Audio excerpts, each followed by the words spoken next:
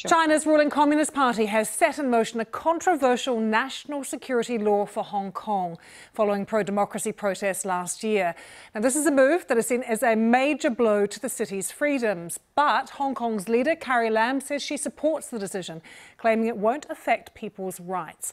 So, what do we know about this proposed law? Well, the plan has been submitted at the annual National People's Congress. They largely rubber stamp decisions that have already been taken by the communist leadership. The proposed new law will ban sedition, secession, and treason, which means any protest could be punished more severely than in the past. Article 4 says Beijing can embed national intelligence agencies in the Hong Kong government to oversee its enforcement. And Beijing would be able to place the measure into basic law. Now, that's the mini constitution on how Hong Kong is run, effectively bypassing the territory's own lawmakers.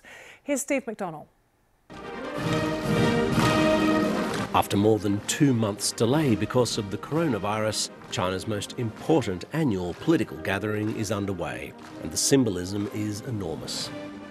Thousands of delegates could gather under the same roof, including the country's senior political and military leadership, conveys an image of an emergency under control. People from every walk of life have given their all. We've waged a total war against the virus. Our medical workers have fought with courage. Our servicemen and women have shouldered heavy responsibilities. However, the Communist Party elite also heard that the crisis isn't yet over. And crucially, China's number two leader said there'd be no economic growth target for this year due to ongoing global uncertainty. But another issue overshadowed all of this, with the introduction of national security legislation for Hong Kong. It doesn't sound like much, but it's a bombshell targeting dissidents in the city. We must take powerful measures to lawfully prevent, stop, and punish them.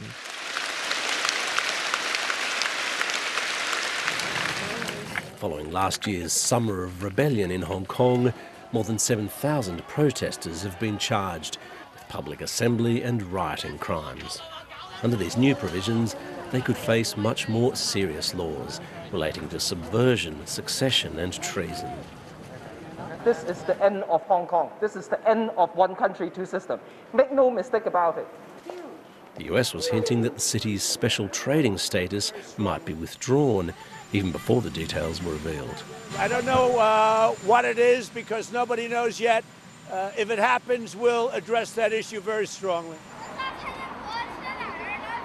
With this country every day edging closer and closer towards something like normality, the authorities here do have a good coronavirus story to tell. But with the world's attention still focused on fighting this disease, China's leaders have been accused of using this crisis as something of a smokescreen to try and introduce draconian laws at a time when this will attract much less attention than it otherwise would.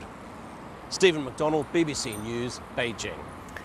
Well, let's just show you some pictures we've just got in from Hong Kong a short time ago. These are pro democracy reformists in Hong Kong's assembly mounting pretty small scale demonstration there, but they are waving placards silently and trying to disrupt proceedings. And you can see them there uh, being escorted out, not so quiet there at that moment. Well, Claudia Yip is a spokesperson for the Hong Kong Human Rights Monitor, a local human rights NGO monitoring the implementation of international human rights standards. And she joins me now from Hong Kong.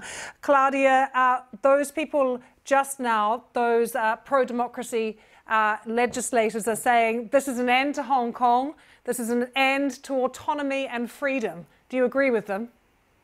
I'm afraid it's have been happening for quite a while, and this act by the Chinese government, I would say, is really uh, making the situation much more precarious. As we know, um, um, Hong Kong, we used to enjoy the autonomy. It's promised in the Sino-British Joint Declaration and in the Basic Law. We have an autonomy in making laws, in law enforcement, etc. But the act by the uh, National People's Congress to make laws for Hong Kong and also to impose um, national security institutions in Hong Kong to carry out those laws, it's, it's is disregard is a complete disregard of the one country two systems. Claudia, can it be stopped in any way? Will Hong Kong officials have a say, or because Carrie Lam says she supports it, does that mean it's a done deal?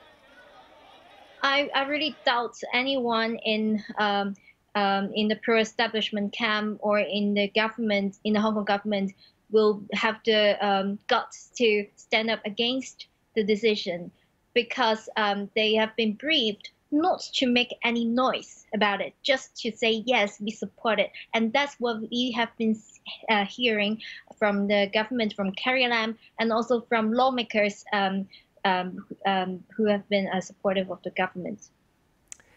We watched day after day as young people came out onto the streets of Hong Kong, Claudia, pro-democracy protesters, uh, so committed and so passionate to their cause. How are they feeling today?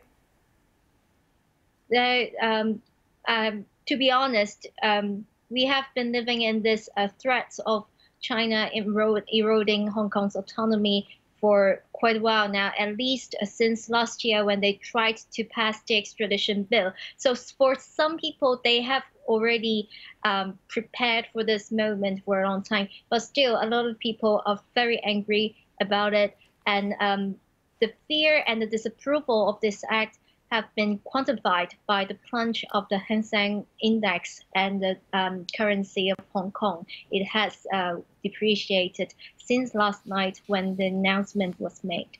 Claudia, thanks for your thoughts. Thanks for joining us from Hong Kong. Claudia Yip there.